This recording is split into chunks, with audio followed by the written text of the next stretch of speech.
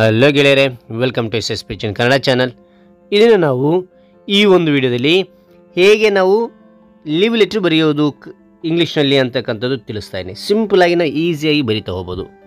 Right ಏನಂದಾಗಿನ seek ಆಗಿದೆ ಅಂದರೆ ಜ್ವರ ಬಂದಿದೆ ಅಂತಕ್ಕಂಥದ್ದು ಇಲ್ಲಿ ತಿಳಿಸ್ತಾ ಹೋಗೋದು. ಎರಡು ದಿನಗಳ ರಜೆ ಬೇಕು ಅಂತೇಳಿ ಇಂಗ್ಲೀಷ್ನಲ್ಲಿ ರೈಟ್ ಹಾಗಾದರೆ ಮೊದಲು ರೈಟ್ ಸೈಡ್ ಏನು ಮಾಡ್ತೀರಿ? ಯಾವ ದಿನಾಂಕ ನಿಮಗೆ ಏನು ಬೇಕು ಅಂದ್ರೆಗಿನ ಲೀವ್ ಬೇಕು ಆ ಯಾವ ದಿನಾಂಕ ಈ ಲೆಟ್ರ್ ಬರಿತಾ ಇರ್ತೀರ, ಆ ದಿನಾಂಕವನ್ನು ಮೆನ್ಷನ್ ಮಾಡಿ ಅದಕ್ಕೆ ಸ್ಥಳವನ್ನು ಬರಿಬೇಕಾಗುತ್ತೆ.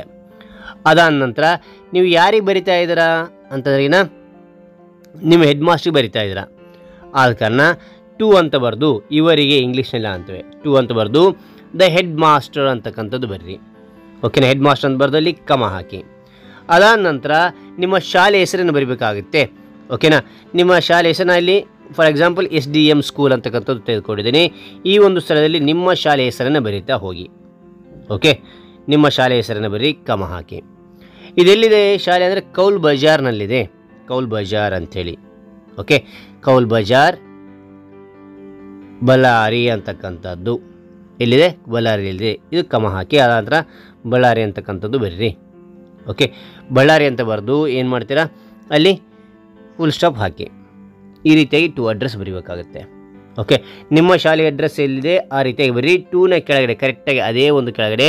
ಇಲ್ಲಿ ರೆಸ್ಪೆಕ್ಟೆಡ್ ಸರ್ ಇಲ್ಲಿ ರೆಸ್ಪೆಕ್ಟೆಡ್ ಸರ್ ಆದರೆ ಸರ್ ಅಂತಕ್ಕಂಥದ್ದು ಮೆನ್ಷನ್ ಮಾಡಿ. ಇಲ್ಲದೆ ಇಲ್ಲಿ ಮ್ಯಾಮ್ ಎದುರಿಗಿನ ಮ್ಯಾಮ್ ಅಂತಕ್ಕಂಥದ್ದು ಮೆನ್ಷನ್ ಮಾಡಿ. ಇಲ್ಲಿ ರೆಸ್ಪೆಕ್ಟೆಡ್ ಸರ್ ಅಥವಾ ಎನಿ ಒನ್ ಸರ್ ಅಥವಾ ಮ್ಯಾಮ್ ಯಾವುದ್ರಾಗ? ಎರಡರಲ್ಲಿ ಒಂದನ್ನು ನೀವು ಇಲ್ಲಿ ಬರೀತಾ ಹೋಗಿ. ಯಾರು ನಿಮ್ಮ ಹೆಡ್ ಮಾಸ್ಟರ್ ಆಗಿರ್ತಾರೆ ಸರ್ ಆಗಿದ್ದಾರೆ ಸರ್ ಅಥವಾ ಮ್ಯಾಮ್ ಅಂದರೆ ಮ್ಯಾಮ್ ಅಂತಕ್ಕಂಥದ್ದು ಮೆನ್ಷನ್ ಮಾಡಿ. ರೈಟ್ ಅದಾದ ನಂತರ ಇಲ್ಲಿ ಸಬ್ಜೆಕ್ಟ್ ಬರಿಬೇಕಾಗತ್ತೆ. ನಾವು ಇಂಗ್ಲೀಷ್ನ ಕನ್ನಡದಲ್ಲಿ ನಾವೇನು ವಿಷಯ ಅಂತ ಕರಿತೇವೆ. ಇಲ್ಲಿ ಸಬ್ಜೆಕ್ಟ್ನಲ್ಲಿ ಶಾರ್ಟ್ ಆಗಿ ಒಂದು ಲೈನ್ನಲ್ಲಿ ಬರಿಬೇಕು. ಯಾವ್ದಗೋಸ್ಕರ ಈ ಲೆಟರ್ ಬರಿತಾ ಇದೆ ಅಂತಕ್ಕಂಥದ್ದು ಇಲ್ಲಿ ಬರಿಬೇಕಾಗುತ್ತೆ. ಓಕೆ ರೈಟ್ ಇಲ್ಲಿ ನೋಡಿ ಯಾವ್ದಗೋಸ್ಕರ ಅಂತಂದಾಗಿನ application for application for sick leave ಅಂತಕ್ಕಂಥದ್ದು. ಸಿಕ್ ಲೀವ್ ಓಕೆ ಈ ರೀತಿಯಾಗಿ ಬರೆದ ನಂತರ ಇಲ್ಲಿ ನೋಡಿ ಬಾಡಿ ಆಫ್ ದ ಲೆಟರ್ ಅಂತ ಕರಿತೇವೆ. ಓಕೆನಾ ಇದು ಇಂಪಾರ್ಟೆಂಟ್ ಇಲ್ಲಿ ಸ್ವಲ್ಪ ವಿವರಣೆ ಕೊಡಬೇಕಾಗುತ್ತೆ. ಓಕೆ ಏನು ನೋಡ್ತಾ ಹೋಗೋಣ I beg to say I beg to say that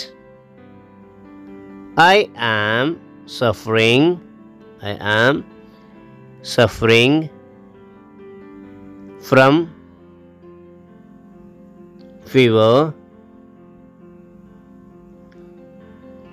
from last night from last night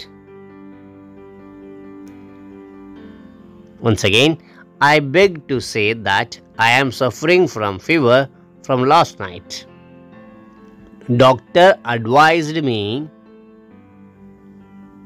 to take a rest to take a rest for 3 days for 3 days three days. Doctor advised me to take a rest for three days. Hence, kindly, kindly grant me, grant me leave from, leave from 27 3 2022 to twenty nine three twenty twenty two twenty seven to twenty nine three days leave ಮೂರು ದಿನ ಆಗ್ತದೆ ಹೌದಾ Me leave from twenty seven three twenty twenty two to twenty nine three twenty twenty two right ಅದಾಂತರ ಅದಕ್ಕಾಗಿ thanking you ಅಂತಕ್ಕಂಥದ್ದು mention ಮಾಡಿ ಕಮ ಹಾಕಿ. ಅದಾಂತರ ಇಲ್ಲಿ ರೈಟ್ ಸೈಡ್ ನೋಡಿ. ಇವರ್ಸ್ ಒಬಿಡಿಯೆಂಟ್ಲಿ ಇವರ್ಸ್ ಒಬಿಡಿಯೆಂಟ್ಲಿ ಅಂತ ಹಾಕಿ ಕಮ ಹಾಕಿ. ಅದಾನಂತರ ಇಲ್ಲಿ ನಿಮ್ಮ ಹೆಸರನ್ನು ಬರ್ರಿ ಇಲ್ಲಿ ನಾನು ಫಾರ್ ಎಕ್ಸಾಂಪಲ್ ಬಸವ ಎಂ ಅಂತ ತೆಗೆದುಕೊಂಡಿದ್ದೀನಿ. ಕಮ ಹಾಕಿ. ಅದಾನಂತರ ನೀವು ಎಷ್ಟನೇ ಕ್ಲಾಸ್ ಅಂತ ಮೆನ್ಷನ್ ಮಾಡಿ ಇಲ್ಲಿ.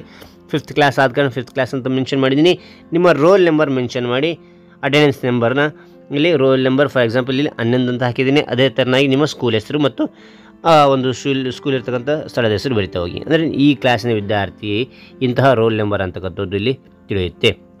ನೀವು ನೀವು ಬರೀತೆ ನಿಮ್ಮ ಫ್ರಮ್ ಅಡ್ರೆಸ್ ಗೊತ್ತಾಗುತ್ತೆ.